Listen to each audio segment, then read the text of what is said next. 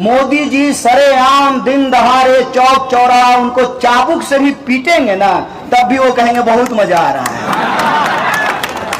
आप लोग बता दीजिए, इस प्रदेश में बीजेपी को कौन हरा सकता है?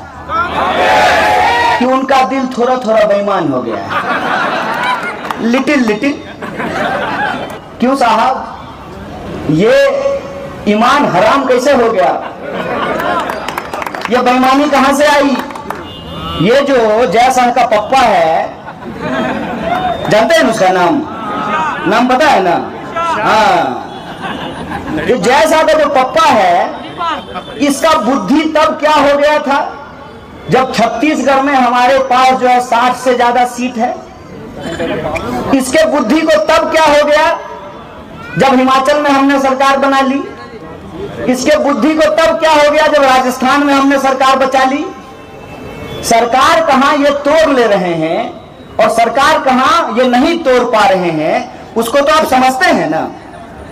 प्रधानमंत्री तो हूँ नहीं, इसीलिए मन की बात नहीं करूँगा, आपके हमारे दिल की बात करूँगा। अभी भी अगर आप भारतीय जनता पार्टी के नेताओं का तकरीर सुनेंगे, उनका भाषण सुनेंगे तो वो इस चुनाव में भी यह दम्भ भरते हैं कि हम छोटा मोदी बनेंगे।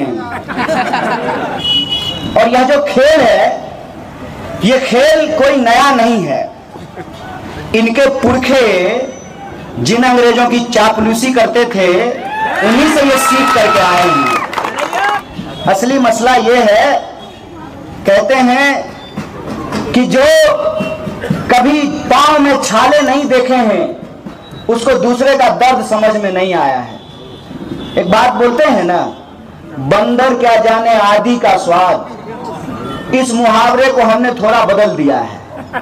बंदर क्या जाने आदि का स्वाद और भाजपाई क्या जाने आज़ादी का स्वाद। देश की आज़ादी के लिए अगर लड़े होते, इनके पुरखों ने अगर कुर्बानी दी होती, हँसते हँसते फांसी का फंदा चूमा होता। जेलों में रह करके अपनी जवानी गवाई होती। तब पता चलता ना कि ट्वीट करने से आज़ादी नहीं मिली थी। व्हाट्सएप पे झूठा मैसेज फैलाने से आज़ादी नहीं मिली थी।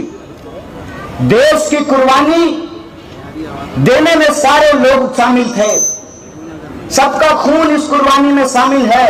असली मसला यह है कि वो सीधे सीधे भाजपा के लिए वोट नहीं मांग सकते हैं। क्योंकि अगर सीधे सीधे भाजपा के लिए वोट मांगेंगे तो कल को लोग उनसे पूछेगा। लोग राह चलते पूछेंगे तो उन्होंने नया सा गुफा छोड़ दिया है। आप इसको अपने दिल पे मत लीजिएगा। इस इस सनी फातिमा साहिबा हम आपको कह रहे हैं, आप बिल्कुल इसको दिल पे मत लीजिए। अरे आपके बच्चे भी कभी आपसे नाराज़ हो जाते होंगे। तो असली मसला इसमें कुछ और है। सीधे सीधे भाजपा का वोट नहीं मान सकते हैं। तो उनका ईमान थोड़ा डोल गया है, थोड़ा हिल गया है। तो उन्होंने ये सगुफा छोड़ दिया है। अगर आप चाहते हैं कि आपके वोट की चोरी ना हो, आप जिसको वोट दिए हैं, जिस पार्टी को वोट दिए हैं, उसकी ही सरकार बने, इसके लिए यह ज़रूरी है कि मैजिक नंबर से ज़्यादा हमारे पास नंबर हो। लड़ाई बिल्कुल आमने सामने का है। इसमें कोई कंफ्यूजन नहीं है, इसमें कोई धोखा नहीं है। जो लोग बीजेपी को वोट करना चाहते हैं, उनका तो क्या ही कहना है।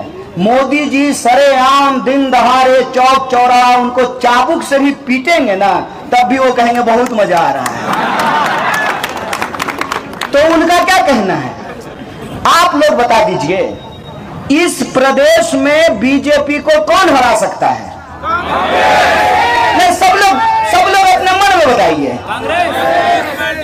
तो अगर आपको भाजपा को वोट देना है तो आपके पास भाजपा है।